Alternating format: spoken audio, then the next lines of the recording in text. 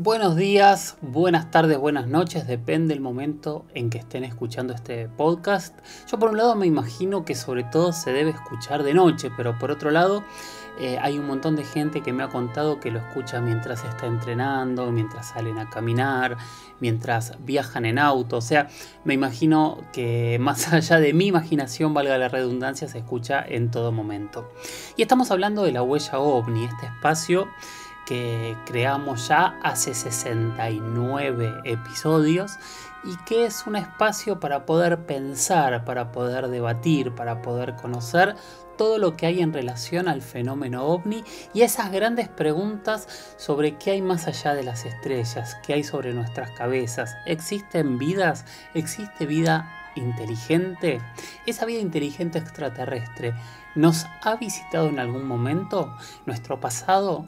Está relacionado con ellos, nuestro futuro está relacionado por ellos, un montón de preguntas que vamos a analizar, contestar y responder, pero siempre sabiendo que en este espacio no nos casamos con las verdades absolutas y sí con las preguntas, buscando que cada uno pueda tener los elementos para llegar a su propia conclusión.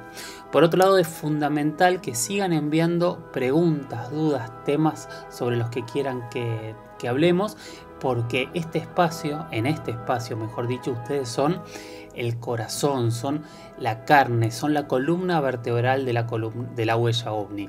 Así que con el hashtag numeral la huella ovni, coloquen los temas, eh, las preguntas que quieran hacer, a quienes quieren que entrevistemos, empiecen a llenarnos de temas y también recomiéndennos. Realmente es impresionante el crecimiento que está teniendo este espacio. Yo estoy feliz y orgulloso. Y cuanta más gente se nos vaya incorporando, más preguntas, más miradas diferentes vamos a tener y todos, incluyéndome, vamos a salir enriquecidos. Bueno, sin más vueltas, sin más cháchara, les recuerdo antes de empezar que yo soy Jorge Luis Zuckdorf. A mí me encuentran en redes, en Instagram soy arroba Jorge Luis S oficial, en Twitter soy arroba Jorge Luis S-77. Ahora tengo un canal de YouTube donde estamos subiendo la huella ovni, donde estoy subiendo entrevistas y algunos videitos joyitas que yo tengo guardados. Les pido que ahí también se suscriban, eh, prendan, la campanita y vean los videos que vamos poniendo. Si ponen Jorge Luis Uxdorf van a llegar al canal. Estoy yo mirando para arriba en una foto como pensativo, eh, mirando las estrellas. Y por otro lado, cualquier información un poco más larga o videos o fotos que me quieran enviar, lo hacen a mi mail, que es las historias de George, las historias de George, gmail.com. Bueno, ahora sí, sin más adelante con el capítulo 69 de la huella ovni. Y hoy vamos a tener una entrevista súper interesante con un gran amigo, Magnus Mephisto. Magnus es una persona que yo creo que ustedes lo conocen porque es parte de la familia de Bebana desde hace mucho tiempo, que desde su canal de YouTube se dedica de una manera muy muy especial a hablar de misterios, ¿no? Ha pasado por muchos tipos de, de modos de comunicación y siempre ha estado asociado a al misterio, a lo paranormal y a estas grandes preguntas que todos tenemos. Muchas veces poniéndole el cuerpo también a los misterios que ha querido demostrar. Y eso me parece asombroso, maravilloso y realmente escuchable. Magnus es un amigo, nos conocemos ya hace un tiempo y realmente es una persona que admiro y que me tenía muchas, muchas ganas de que formase parte de nuestra familia de la huella ovni. Así que adelante con esta entrevista con Magnus Mephisto. Un extraño bólido proveniente del cielo hizo impacto causando un enorme incendio de destrucción en un radio de... Y hoy toca el turno de entrevistar a un amigo de la casa de Bebana y una persona que está muy muy relacionado desde hace muchísimo tiempo con los misterios, con, indagar, con meterse directamente. Él ha puesto el cuerpo a los misterios muchísimas veces en un montón de sus investigaciones. Magnus Mephisto hoy está con nosotros y nada, primero que nada me encantaría que te presentes, que nos cuentes quién sos, cómo entraste en este mundo, qué es lo que más te, te fascina. Hola Jorge, ¿cómo estás? Muchas gracias por contactarme nuevamente. Hemos hablado ya, hemos eh, hecho transmisiones juntos, eh, hemos interactuado en otras ocasiones, siempre charlando temática ovnis, temáticas misterios y demás. Bueno, mi nombre es Magnum Mephisto, soy creador de contenido audiovisual para redes sociales, específicamente YouTube. Eh, todo, todo, este, todo ese título largo se resume en youtuber, pero me parece que es mejor decirlo como, como me gusta decirlo a mí, ¿no? Me gusta mucho el, todo lo que es terror, misterio. Yo eh, me metí en este mundo por el lado del cine, yo soñaba con ser director de cine de terror y después por las cuestiones de la vida que te va llevando por otros lados, me terminé volcando no al séptimo arte, sino a YouTube, que me resultó mucho más simple todo. Y ya en YouTube empecé primero a hacer cortos de terror y luego empezamos a hacer exploraciones urbanas a lugares abandonados. Y luego todo esto derivó en empezar a hacer eh, narraciones de casos policiales, casos de misterio, eh, sucesos así importantes que estén referidos a todo, todo este mundo y, y, hace ya un montón de tiempo que estoy haciendo este tipo de contenido y siempre encontramos algo nuevo por explorar. ¿Tuviste algún tipo de experiencia paranormal en primera persona en alguna de tus investigaciones o fuera de esas investigaciones? Con respecto a experiencias en sí, nunca hubo nada claro. O sea, soy una persona que intenta siempre buscar el lado lógico ¿no? de los asuntos, porque pienso que cuando uno ya desde de entrada busca el lado paranormal o el lado inexplicable, es como muy fácil tentarse con todo lo que sucede, decir, ok, eso fue un fantasma, eso fue un ente, eso fue una aparición, eso fue un ovni o lo que sea. Entonces, me parece que está bueno primero buscar el lado lógico, el lado escéptico se podría decir, y después de ahí ir descartando las posibilidades, ¿no? Hasta tal vez en, alguno de estos sucesos se puede encontrar algo, algo extraño. A mí me ha pasado de estar en lugares abandonados donde hemos escuchado ruidos, ruidos de pisadas, ruidos de puertas que se abren, un llanto llegamos a escuchar una vez y demás, que son todas situaciones que a veces cuando, cuando uno se expone a este tipo de lugares, oscuridad total, silencio total, es como que el cerebro empieza a jugar como estas malas pasadas, ¿viste? De ir creando sensaciones. No tuve ninguna experiencia clara, clarísima, que yo diga, esto me comprobó que los fantasmas existen, que los ovnis existen, que tal cosa. No, no ninguna de esas, pero siempre a la espera de que suceda. ¿Qué es lo que opinas de este mundo que no podemos ver y que muchas veces la ciencia no termina de entender? Personalmente pienso que eh, por el lado de la ciencia todavía no se ha llegado a descifrar todo el enigma que es el, organismo, ¿no? el cuerpo humano, y los seres vivos y todo lo que nos rodea. Todavía no hemos llegado a la cumbre de la investigación para poder revelar todos los misterios ¿no? de la genética y demás.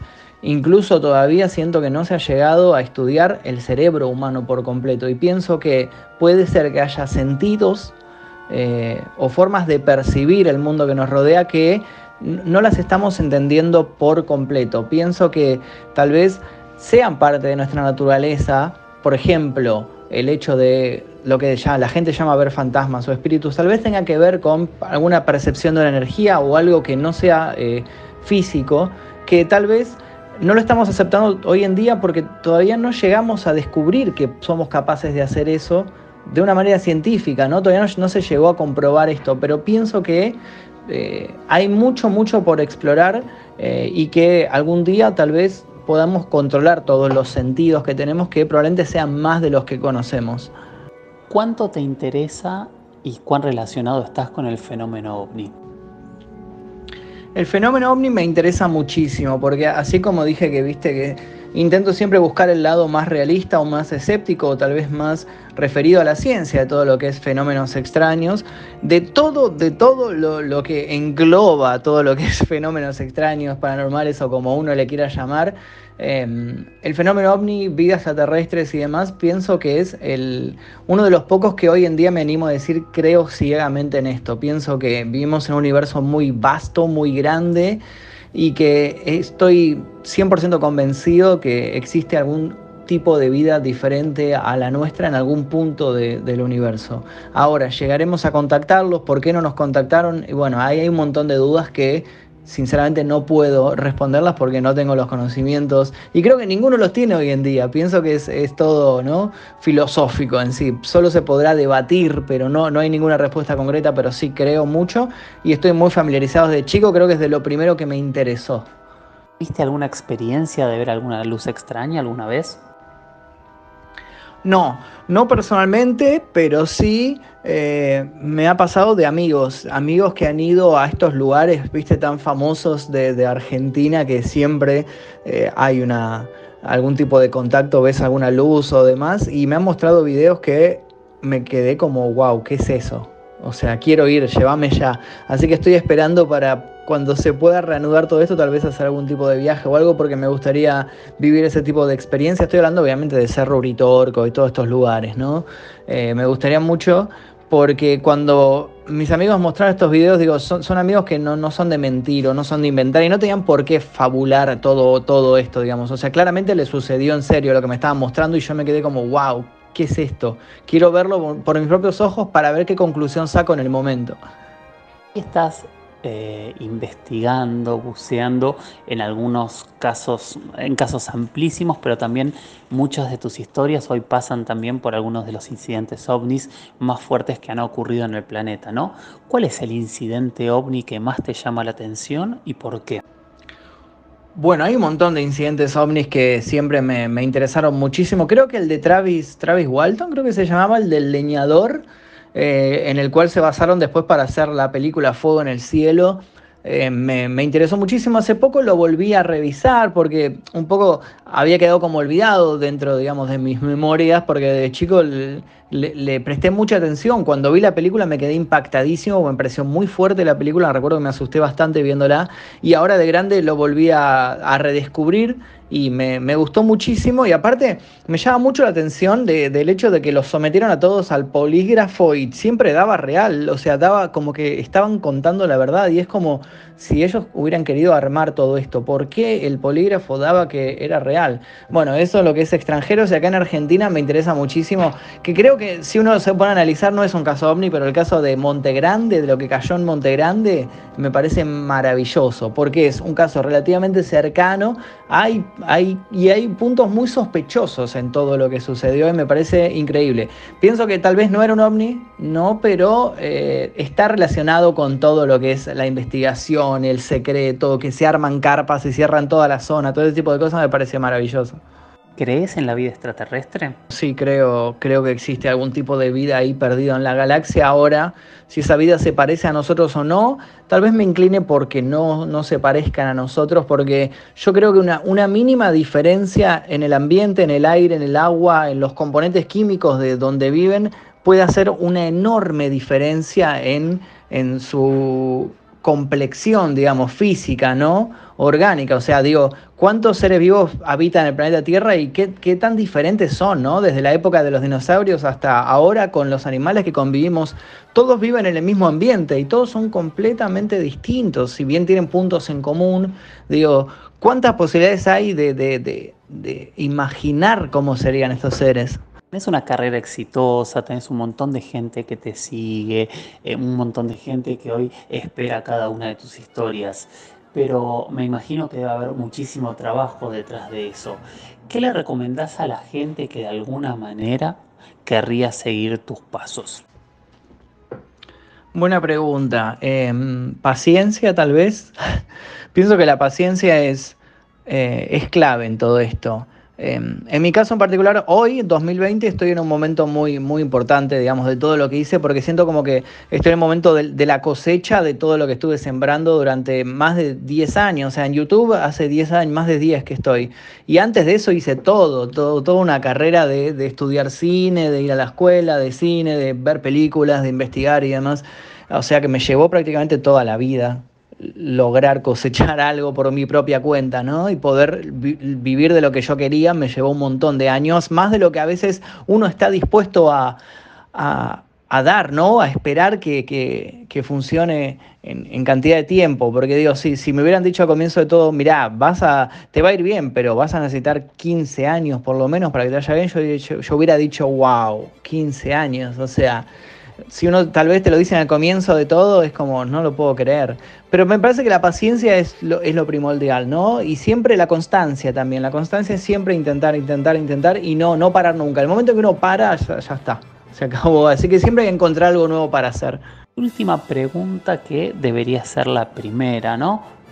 ¿Qué es Magnus Mephisto? ¿De dónde viene el nombre? Magnus Mephisto, eh, lo, me lo puse cuando tenía 15, 16 años aproximadamente. Al principio era solo Magnus, ¿no? De hecho, tendría que buscar, pero tengo fotos con mi buzo de egresados que decía Magnus atrás. Magnus significa poderoso en latín. Y lo usaba como un antónimo porque mi nombre real es Pablo. Y Pablo, si vamos a, lo que significa, significa pequeño, humilde, digamos. Entonces buscaba algo que fuera el, antítesis, ¿no? El antónimo justamente, el lado opuesto. Si, era, si iba a ser un alter ego, tenía que ser al revés. Y Mephisto surgió después, eh, lo saqué de un libro que es el libro Fausto de Goethe, que es, eh, Mephisto es un demonio, Mefistófeles, que me, me, me, me, interesó mucho el personaje, ¿no? Era muy, muy interesante su forma de ser o cómo eh, utilizaba como la inteligencia que, que, tenía el personaje y me quedé como fascinado por, por este personaje Mefistófeles y bueno, lo corté a Mefisto que es más, más fácil de recordar, ¿no? Y así surgió. Eh, Suena un poco raro, pero bueno, como digo, lo creé cuando era adolescente. Tal vez uno cuando es adolescente siempre tiende a exagerar todo. Muchísimas gracias Magnus y te pido si podés dejar otra vez eh, tus redes, de qué manera la gente se puede contactar con vos si quiere hacerte alguna pregunta y demás. Muchísimas gracias y, y nada, muchísimas gracias de nuevo por haber participado y formar parte de la familia de la huella ovni. Bueno, Jorge, no, por favor, gracias a vos por estas preguntas, por esta entrevista. Siempre estoy libre para, para contestar y para debatir sobre estos temas que a mí me, me, interesan muchísimo y está bueno siempre encontrar gente del otro lado dispuesta a escuchar el punto de vista de uno y tal vez estar de acuerdo, tal vez no. Bueno, en mis redes sociales me pueden encontrar tanto en YouTube como en Instagram, como en casi todas las redes, como Magnus Mephisto. Creo que en Twitch solamente soy Magnus-Mephisto porque alguno me robó el nombre, se creó la cuenta antes. Pero después en casi todos soy Magnus Mephisto. Eh, y pueden encontrarme ahí, siempre estoy subiendo material, así que van a hallar ahí todo lo que hago. Bueno, muchas gracias por esta entrevista y seguramente nos vamos a estar cruzando muy muy pronto. Adiós. Muchísimas gracias Magnus, para mí es un honor tenerte aquí. Espero que ustedes hayan disfrutado tanto de la entrevista como yo la disfruté. Siempre se abren puertas, siempre se abren preguntas y se abren dudas. Sigo recibiendo preguntas hablando de ello justamente con el hashtag numeral la huella ovni en Twitter, en Instagram, pueden mandarme mensajes privados, pueden escribirme a mi mail las historias de George, las historias de George gmail.com. Me gustaría recibir más historias personales de ustedes, quiero escuchar sus historias en primera persona y no me voy a cansar de pedirlo. Y mientras tanto, recomiéndennos, recomienden mucho este espacio para que podamos seguir creciendo y podamos ampliarnos en criterio, ¿no? Porque como ustedes son la base, la estructura de este programa, si hay más gente preguntando, vamos a abrirnos cada vez más a un criterio más amplio. Yo no prometo verdades absolutas, eso creo que ya lo tienen claro pero sí les prometo que los voy a llenar de preguntas para que cada uno pueda sacar sus propias conclusiones. Bueno, bueno, hasta aquí llegamos. Gracias como siempre por acompañarnos, por tomarse el tiempo para responder, para mandar mensajes eh, preciosos, felicitar, plantear cosas diferentes, incluso debatir. Todo se agradece, se agradece muchísimo y este espacio es para eso, para que ustedes puedan participar y entre, to y entre todos podamos generar cada uno sus propias conclusiones. Mientras tanto, lo que siempre les digo, miren al cielo, aprendan, aprendamos a diferenciar, aprendamos a desempolvar y correr las confusiones, tratar de no ver ovnis en el cielo todo el tiempo y tratar de identificar cada cosa para quedarnos con aquellos elementos que realmente no tienen explicación. Y además, anímense a esta propuesta que les hago. No se queden con las verdades absolutas. Pregunten, háganse preguntas y busquen muy despacio y con mucha cautela las conclusiones. Gracias y hasta el próximo episodio. Chau chau.